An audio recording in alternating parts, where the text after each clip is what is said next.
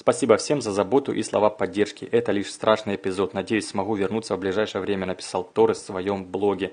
Нападающий мадридского атлетика Фернандо Торрес получил серьезную травму головы в матче 25-го тура чемпионата Испании по футболу против Депортива.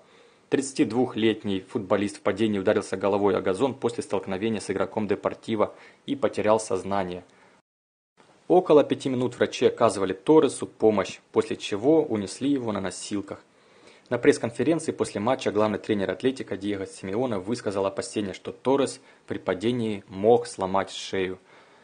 Со стадиона испанец был доставлен в больницу, где проведет как минимум одну ночь. К счастью, серьезных травм не выявлено.